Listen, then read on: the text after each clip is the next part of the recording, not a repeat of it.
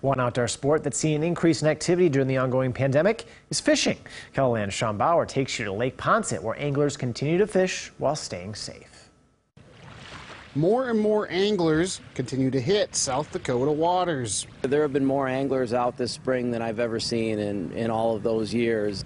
Sioux Falls Area Fishery Supervisor Dave Lucchesi says there's a simple reason for the increased fishing traffic.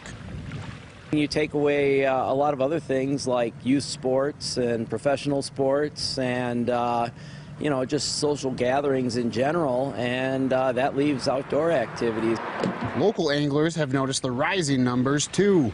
You look at the boat ramps, they're packed during the week even. Uh, it's not just a weekend deal anymore. There's people that are here during the week, um, but this even prior to the COVID stuff. Fishing is already a naturally socially distant sport, but people are still taking precautions as they get set to hit the water. And they actually, you know, were in the pickup. Three, four guys all had masks on.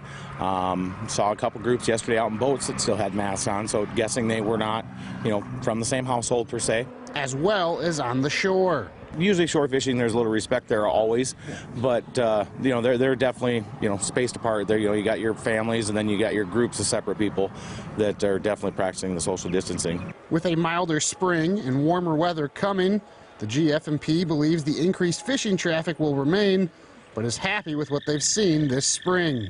Uh, they're respecting other people's, uh, you know, need for social distancing, and uh, I think are enjoying the sport again.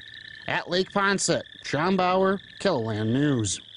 The Game Fish and Park says there's also more areas for people to fish this year than a year ago due to the drier spring. Turning to weather, spots in California.